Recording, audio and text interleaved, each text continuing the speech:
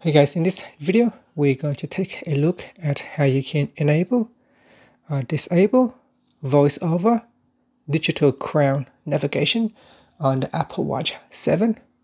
So first, let's go back to your watch face by pressing on the crown button on the side. Once you are back at the watch face, press on the crown button to go into the app screen.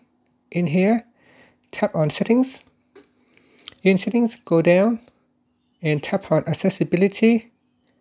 Then we go down and tap on voiceover. Now go down and tap on digital crown navigation. So tap on the toggle button to switch it on or tap on the toggle button to switch it off. And that's it. Finally, you can press on the crown button to go back to the watch face. Thank you for watching this video. Please subscribe to my channel for more videos.